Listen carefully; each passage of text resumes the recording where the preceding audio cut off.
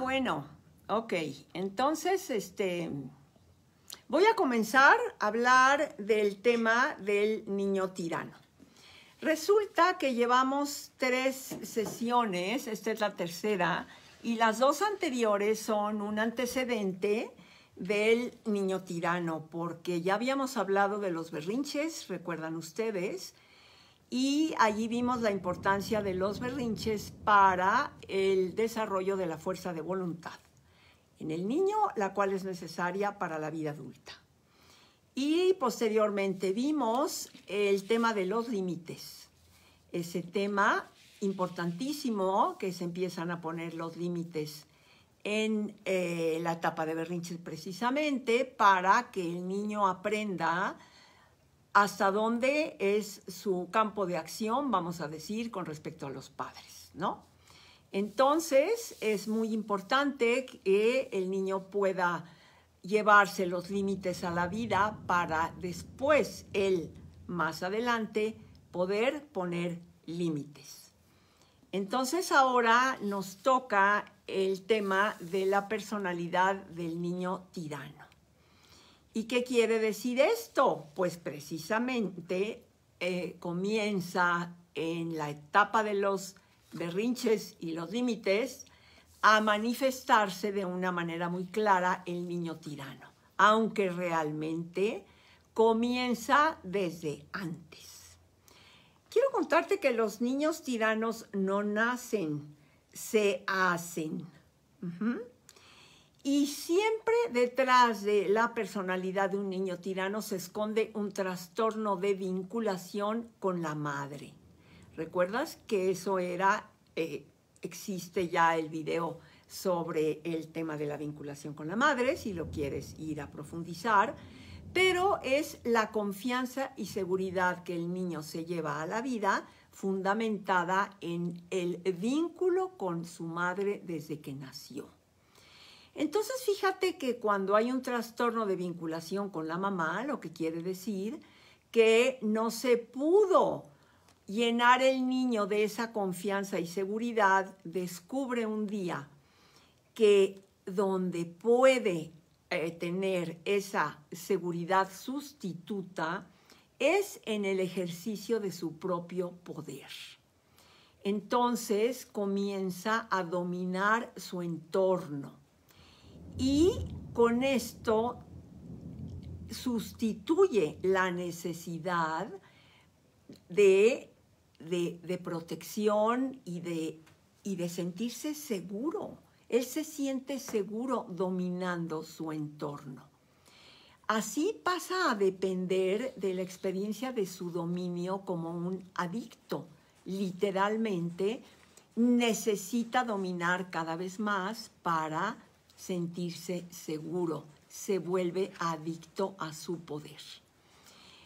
Pero verdaderamente no sacia esta satisfacción que es sustituta, no sacia nunca la verdadera necesidad básica, esa necesidad que tuvo que haber satisfecho la mamá desde que el niño era bebé, en el vínculo con ella. Y el grado de dependencia está en relación directa con el miedo recuerdas que se llamaba miedo al abandono, aquel miedo que se llevan los bebés cuando sufren una separación de su mamá. Fíjate qué cosa tan interesante descubrió Irina Prekop. Ella descubrió que en el tercer mundo no hay niños tiranos en los países del tercer mundo, pero no en toda la población. Aquí en la Ciudad de México hay muchísimos niños tiranos en la población rural en donde los niños son cargados con el rebozo. Allí no puede desarrollarse un tirano, fíjate qué interesante, ¿por qué? Porque número uno, el niño en el rebozo está en contacto con el cuerpo de la mamá y por lo tanto satisface esta necesidad básica de protección, de afecto, de consuelo, etcétera ese continuo contacto con la madre le satisface la necesidad de la vinculación que te decía yo. Entonces, esto le da al niño la confianza en los padres. así como la seguridad y confianza que necesita. Porque yo siempre pregunto en mis conferencias, ¿quién de ustedes ha visto un niño cargado en el rebozo en medio de nuestra ciudad con la mamá que vende chicles en medio de los coches cuando el semáforo está en rojo y los coches se paran?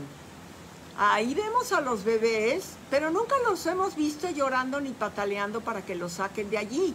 Al contrario, están tranquilos y dormidos, ¿no? ¿Por qué? Porque realmente, aunque están en medio del estrés, del ruido, del tráfico, del smog y del horror, ellos están tranquilos y contentos porque están pegados al cuerpo de la mamá, que además les está generando un movimiento continuo mientras ella camina, porque la vendedora de chicles no se para estática en un lugar, sino que se mueve, se mueve caminando para ofrecer sus chicles. Fíjate que este niño se tiene que acomodar a la vida de la mamá.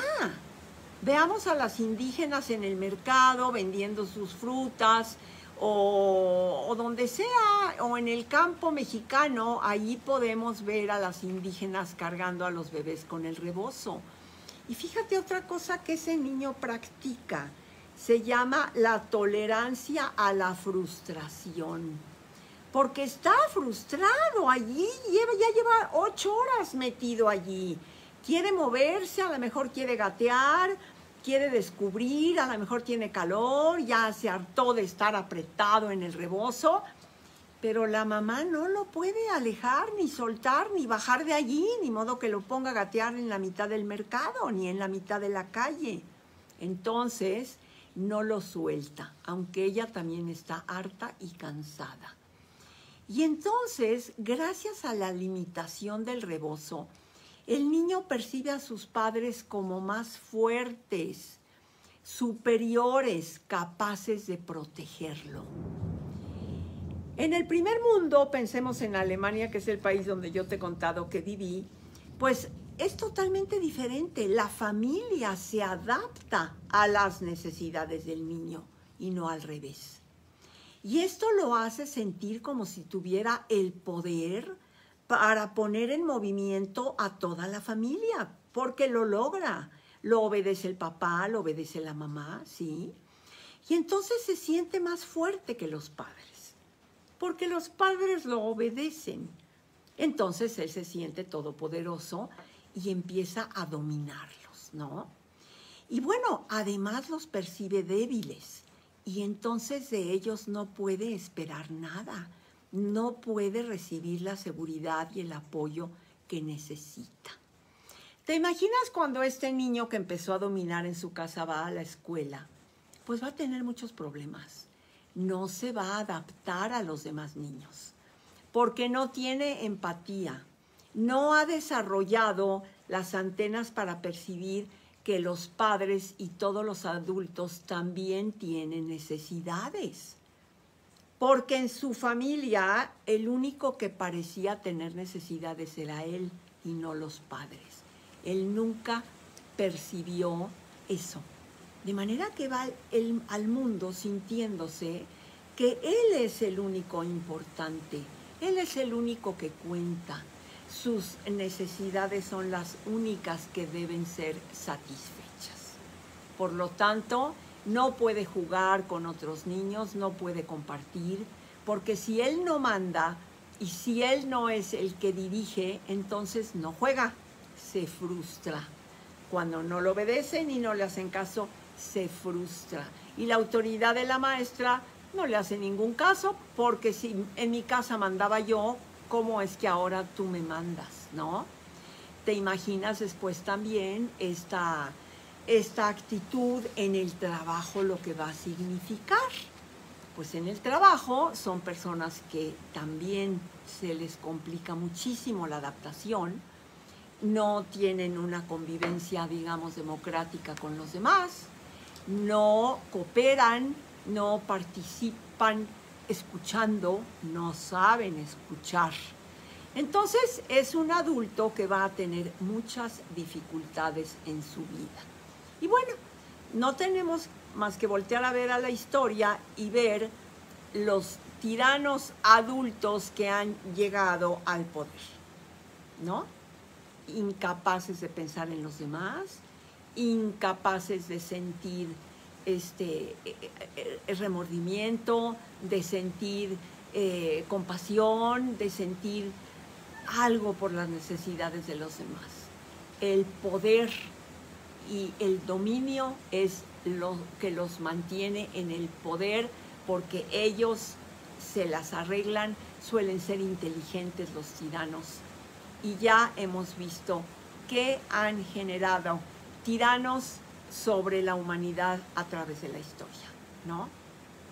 Ahora, te voy a contar las características generales del niño tirano. Fíjate que curiosamente son más niños varones que niñas. Es una niña por cada cinco niños. 35% de ellos son hijos únicos. Con frecuencia es el mayor o el que llegó muchos años después y creció como hijo único. Y ya los padres resultaron casi casi como abuelos, ya cansados, ya no les interesaba nada educar a ese niño y ya no le pudieron hacer el suficiente caso. También niños adoptados frecuentemente porque los padres quieren convencer al niño de su amor. Niños en riesgo o peligro o con ciertas discapacidades, los papás quieren sustituir en casa las renuncias que sufre afuera. Por ejemplo, niños con cierto retraso mental, con asma, bronquial o espástica, ataques de algún tipo, problemas en la piel, de alguna manera pueden sentir cierto tipo de rechazo estos niños y entonces los padres quieren compensar en la casa. Niños con tendencia a coleccionar objetos y obsesión ante secuencias de conducta. Fíjense qué interesante. Yo tenía una mamá que una vez me platicó, tenía un niño súper tirano, como de tres años. Fíjate, Laura, qué interesante. Llegamos a la casa. Yo llevaba una bolsa con paletas heladas que compré. Bueno, me cargué la bolsa, cargué mi bolsa de mano y luego lo bajé de su sillita, lo bajé al coche, subimos la escalera. Y ya que llegamos a la casa me dice, no mamá, así no, tenemos que volver a bajar al coche. Porque primero voy yo y luego van las paletas. Y además me subes la escalera cargando. Entonces vámonos al coche para volverlo a hacer.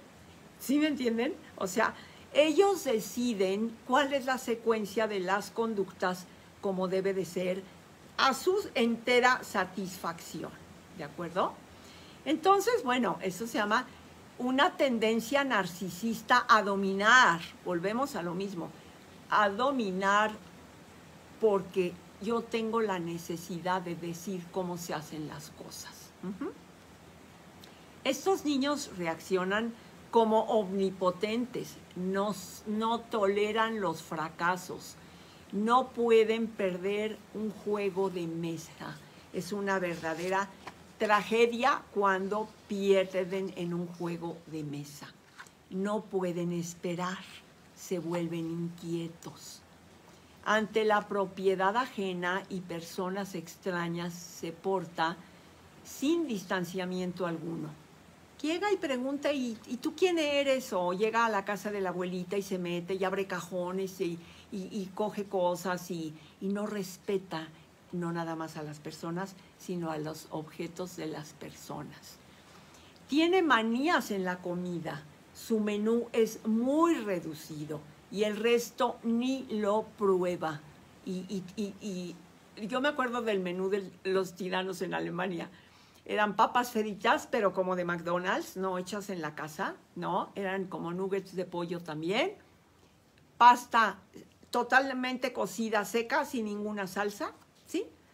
Y, no sé qué más. Pero así como cinco cosas. Y todo lo demás ni lo prueban. Obviamente la mamá eh, le, hace, le hace lo que él pide y exige porque, porque si no, no come nada, ¿no? son incapaces de adaptarse socialmente.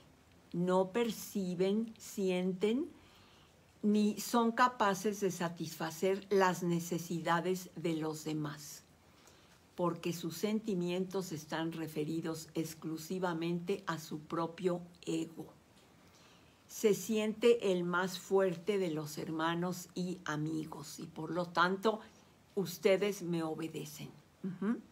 Y si es líder, también ejerce la tiranía. Como les digo que son inteligentes, suelen ser líderes. Entonces, no, ¿por qué mejor no jugamos a esto? Ah, no, si no juegas lo que yo digo, entonces no juegas para nada y te vas para afuera, ¿no? Sienten cualquier esfuerzo que se les pide como una humillación y protestan, por supuesto.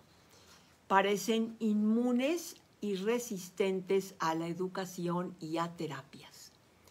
Prefieren el juguete técnico, que no requiere de ningún compañero de juego al que tenga él que adaptarse. Como no quiere adaptarse, mejor decide el juguete técnico para no tenerse que esforzar en adaptarse a nadie. Y tienen un pasatiempo muy interesante. Coleccionan, almacenan, guardan y clasifican objetos como si poseyera un pequeño reinado al cual domina. Y obviamente no sabe escuchar. Bueno, pues eh, hoy estuve un poco más rapidita, perdónenme, perdónenme, pero de aquí a que mi técnico me auxilió y me pasó al celular, este, pasó tiempo y lo lamento.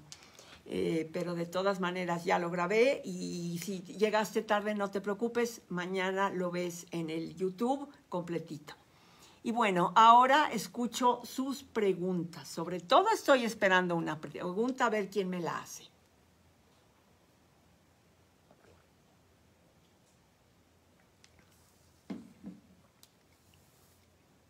Me alegra que unas cuantas personas sí se quedaron, tuvieron la paciencia y se quedaron a esperar a que yo arreglara el problema.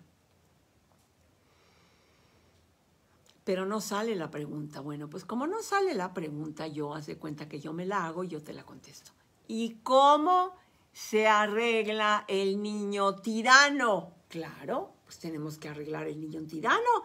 No podemos permitir que se haga adulto y se vaya a la vida y se vuelva un adulto tirano, porque además el adulto tirano no tiene remedio. Si el niño tirano era inmune a la terapia, el adulto tirano no tiene remedio. No hay terapia que lo arregle, ¿no?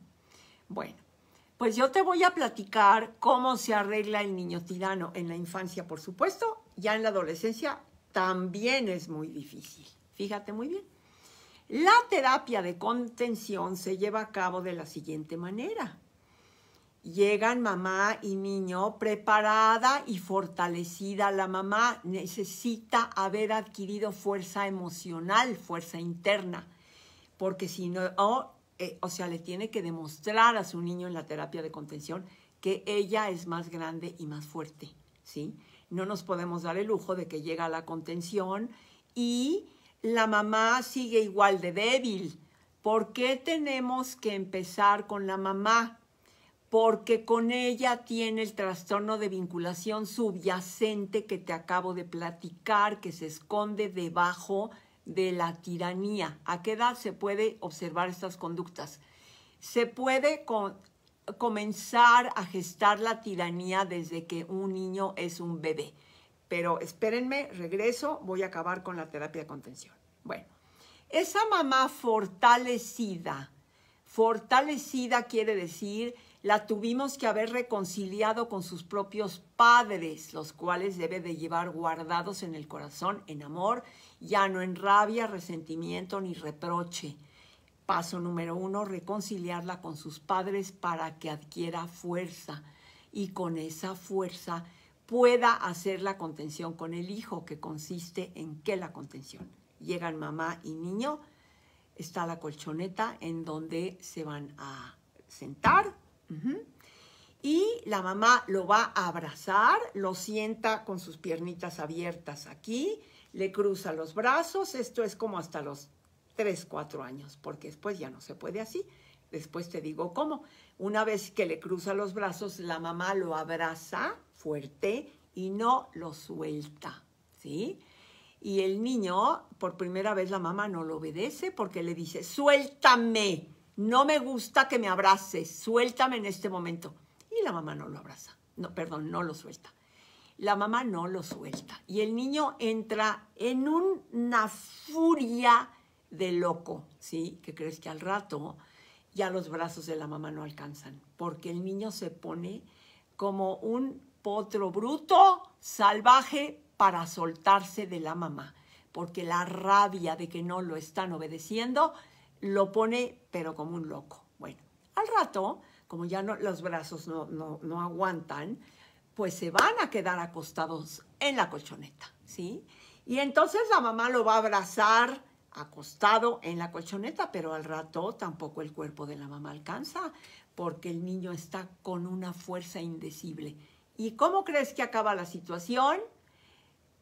la mamá acaba acostada encima de él, ¿sí? ¿Por qué encima? Para que el niño sienta el cuerpo y el peso de su mamá. Y hasta entonces se da cuenta que verdaderamente la mamá es más grande y más fuerte que él. Vean qué fascinante. Con el cuerpo le demuestra a la mamá esto que te estoy diciendo. Entonces, de repente el niño se, ya sigue. Ah, ¿por qué crees que se pone como loco? porque lo vamos a meter en un síndrome de abstinencia. Quiere decir que igual que el niño, que se, el chico que se droga, cuando le quitas la droga, entra en un síndrome de abstinencia y se pone como un loco. El niño se pone como un loco, no porque le estamos quitando la droga, pero porque le estamos quitando el poder. En una sesión le quitamos el poder. Y la mamá está encima de él y le dice, ¿Te estás dando cuenta que tienes a la mamá más fuerte del mundo? Así entrenamos a la mamá. Y cada vez que la mamá le dice eso, el niño se pone más loco aún y dice, no eres fuerte, tú no eres fuerte, yo sí soy fuerte. O sea, no cede hasta que cede y dice, sí mamá, sí, sí eres la más fuerte del mundo Entonces, cambiamos la postura, este, se van de lado, la mamá lo, tiene así pegadito de lado, ya la mamá no, no está con el cuerpo encima. Y entonces, allí, ¿qué crees que sucede? Allí tocan el sentimiento que está bajo la rabia, que es la tristeza. ¿Te acuerdas? En los sentimientos en polaridad, la tristeza subyace a la rabia. Y allí entonces el niño llora. ¿Qué llora? Llora la tristeza que guarda ah, por el trastorno de vinculación con su mamá, porque estuvo en la incubadora un mes solito, se sintió abandonado, porque la mamá tuvo que regresar a trabajar y lo tuvo que dejar en la guardería siete horas, se sintió abandonado, ¿sí? O porque la mamá viajó, o porque se hospitalizó o cualquier separación física va a generar el miedo al abandono en un bebé. ¿sí? Esa parte es la que llora el niño tirano una vez que se expresó la rabia, primer, primer, primera capa, segunda capa la tristeza. ¿sí? Entonces, después de que el niño liberó la rabia, toca la tristeza y la llora profundamente en los brazos de su mamá. Y esto es lo que llamamos la curva en la contención. Rabia o coraje, tristeza, miedo y al final llegan al amor.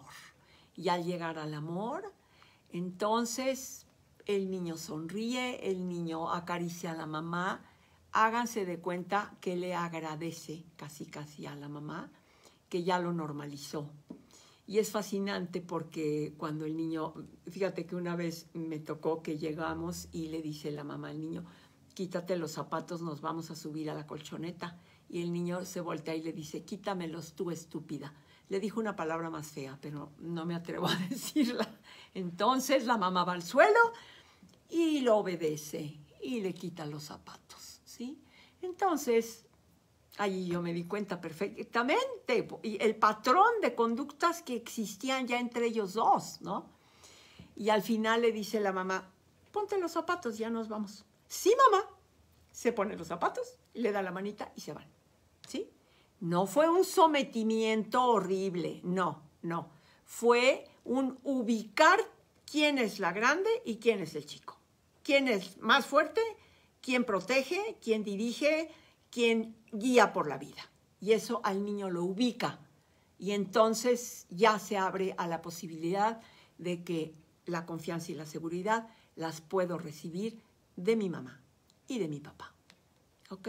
Y los padres quedan entrenados, obviamente, para mantener y conservar este territorio ganado. Porque, ¿qué crees? Que el niño intenta a toda costa continuar, a continuar, intenta, intenta volver a ganar su territorio que perdió. ¿Sí? Entonces es muy fácil, yo les digo a los, a los padres cómo le van a hacer Vas, lo tomas de los cachetes, lo miras a los ojos y le dices, acuérdate que la mamá soy yo. Así, con esta voz. Entonces como que se acuerda. Ah, sí, entonces yo me ubico. Yo me ubico que soy el niño y el pequeño. Y tú eres la mamá y la grande. ¿Sí? Entonces de esta manera, y generalmente en la casa hay que volver a hacer este tipo de abrazo de contención. Una vez que la mamá lo aprendió, lo sigue haciendo en la casa. Eh, ¿cómo podemos evitar que un niño o niña desarrolle las características de un niño tirano? El tipo de nacimiento influye, me imagino que pones influye. Mira, eh, mm, creo que se te escapó el principio. En el principio yo expliqué que las dos sesiones anteriores vimos berrinches y vimos límites.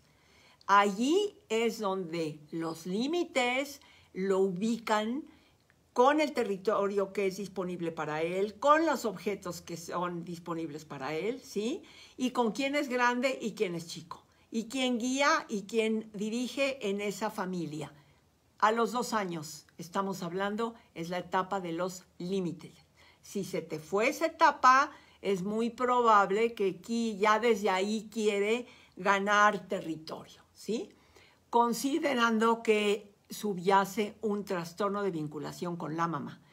Y que entonces, resumiendo, el niño, en lugar de fundamentar su confianza y seguridad en el vínculo con su madre, lo va a fundamentar en el ejercicio de su propio poder.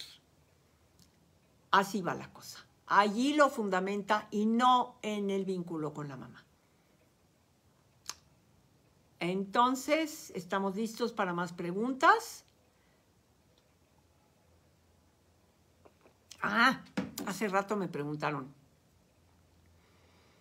mm, ¿qué tipo de conductas son las que observa uno? Creo que eso me preguntaron. Conductas de dominio. Yo no quiero esta sopa, quiero otra. No le vas a traer otra sopa. Ajá. Es la sopa que hay. ¿No te la quieres comer? Ah, bueno, pues entonces no hay, no, no hay nada que comer. Eso lo vimos en los límites. Porque Tú no vas a estar haciendo diferentes menús para complacer a tu niño. Y le das la oportunidad de, contactar con el hambre en su cuerpo. No va a comer. Pero nunca te vas a pelear por la comida. ¿Sí? Nunca, jamás te vas a pelear con tu hijo por el tema de la comida, porque eso va a generar trastornos alimenticios en la vida adulta muy severos que tienen una relación directa, ¿sabes con qué? con la relación con la madre. ¿Por qué? Porque el alimento original viene del cuerpo de la madre cuando un bebé nace. Ajá. Eh, los videos de berrinche y límites están en YouTube. Claro que sí. Todos están en YouTube. Son los dos pasaditos. Precisamente este es el tercero de una secuencia que va junto. Entonces, posteriormente en la vida, la mamá, pues ya la comida no sale de su cuerpo. Pero la mamá o la compró, o la cocinó, o dispuso que alguien la cocinera, la, cocinara, pero la mamá siempre tiene que ver con el tema de comida, ¿ves? Entonces, si empiezan las dificultades con la comida desde muy chiquito, pues ya para el rato en la vida adulta o me voy a convertir en obesa porque estoy muy enojada contigo mamá, o me voy a convertir en anoréxica, o me voy a convertir en bulímica, todo gira en torno a la comida. Y muy frecuentemente se esconde allí todavía el trastorno de vinculación con la mamá. Porque es una satisfacción oral la comida. Así como el bebé que tiene su satisfacción oral, primero chupando el pezón de la mamá y posteriormente chupando objetos y chupones y todo el primer año el niño chupa el mundo entero. Y cuando se queda una herida emocional a ese nivel, pues en la vida adulta vamos a tener que seguir chupando. Y entonces chupamos alcohol o chupamos cigarros o ingerimos comida es una manera de tranquilizarnos la ansiedad, el hueco profundo que se siente con la ansiedad. Bueno, pues ya no hay preguntas. Gracias por haber tenido paciencia y haber continuado o haber regresado. Sí lo logramos y por lo pronto se va a quedar en YouTube mañana. Los hermanos se pelean, es bueno evitar, es bueno dejarlo. Mira, yo siempre he aconsejado lo siguiente, a ver, hablando de esto de la comida, me viene a la mente qué pasa cuando las madres no dan pecho a los hijos, qué problema viene. Ok, voy primero con los hijos que pelean. Fíjate muy bien. Eh, si tú intervienes, invariablemente vas a ponerte del lado de uno, vas a generar celos en el otro y esos celos van a producir más pleito contra el que tú defiendes, ¿sí? Entonces, yo sugiero lo siguiente, suena un poco drástico, pero no intervenir hasta que veas que corre sangre. Claro, me dicen muchas mamás, pero el grande lastima al chico. Necesitas técnicas de comunicación para ponerle límite de una manera que no genere celos. Y te conviene entonces hacerle caso al peleonero, abrazarlo más, decirle que, lo quieres, decirle que es el primogénito y que es el más especial porque es el que llegó primero y, y es el que te hizo papá y mamá, etc. Cárgale la pila al peleonero y automáticamente va a dejar de molestar al chiquito que es el que tú defiendes. Es lo que se me ocurre decirte, ¿sí? la cuestión del pecho, mira, el vínculo con la madre es una cercanía física total, total, que es como, como debe vivir un bebé recién nacido. Un bebé recién nacido necesita nueve meses, meses un útero externo que se llama rebozo. ¿Para qué? porque el bebé humano nace fisiológicamente prematuro. ¿Qué quiere decir eso? Que si tú comparas al bebé humano con un potro, por ejemplo, el hijo de la yegua, esposa del caballo, ¿cuánto tiempo se tarda el potro en ponerse de pie? Minutos. Porque si no, no llega la leche de la mamá yegua que está altita. La mamá yegua no amamanta acostada, amamanta de pie. Por eso el bebé potro, el bebé jirafa, el bebé elefante, el bebé burro, cebra, se tienen que parar. Si no, no comen. Esas mamás no amamantan acostadas. ¿Y cuánto tiempo se tarda el bebé humano en ponerse de pie? Dime tú. ¿Te gusta 10 meses? ¿No? Bueno. Entonces, esos primeros nueve meses de vida al bebé le hace falta un útero, porque no, no se pudo quedar adentro 18 meses. La naturaleza dijo que no se quedaba adentro. ¿Por qué? Porque no cabría por la puerta de salida si se quedara 18 meses. Número uno y número dos, pobres mamás gestar bebés 18 meses. Entonces la naturaleza dijo, va a salir a los nueve, con la condición de que los primeros nueve de vida le hagas un útero por fuera. Y ese útero se llama rebozo. eso va a favorecer el vínculo cuando y por lo tanto va a proveer al ser humano de la confianza y seguridad que necesita para la vida. A los nueve meses bajas un bebé del rebozo al piso y automáticamente se pone a gatear, ¿sí? En nuestra sociedad, entre comillas, civilizada, no, eh, no forma parte de nuestra vida el rebozo, no, yo lo sé pero bueno, en Precop, en el Instituto Precop, tenemos unos rebozos para las mamás modernas. Y es fascinante ver a las mamás de la sociedad civilizada modernas cargar a su bebé con el rebozo en el centro comercial, en el súper, en el viaje, en el aeropuerto, en el avión. Es fascinante porque los bebés están felices, igual que el de la mamá indígena, idéntico. Y esos niños van a la vida llenos de confianza y seguridad. Bueno, el amamantar un bebé favorece este vínculo, favorece porque siguen pegados. Y es de lo que se trata, de que los cuerpos estén pegados. Cuando no hay amamantamiento, pues entonces la mamila la puede dar cualquier gente, ¿sí? Eh, hay muchos beneficios para el habla, para la vocalización, para muchísimas cosas, que ahorita ya no nos da tiempo de entrar a esos detalles, porque la succión del pecho materno es mucho más difícil que la de la mamila, ¿sí? Cuesta mucho más trabajo y activa muchísimos más músculos en la boca que la mamila. Por eso tiene una relación directa también con el desarrollo del lenguaje pero lo más importante es el vínculo que se va a generar con la mamá fascinada de sentir que está nutriendo y dando el alimento para la vida de su hijo. La mamá se siente plena y feliz. Y esto se transmite al bebé. Y esto favorece la mirada. El bebé no pasea la mirada para ver el techo, no. El bebé no le quita los ojos a la mamá mientras está amamantando.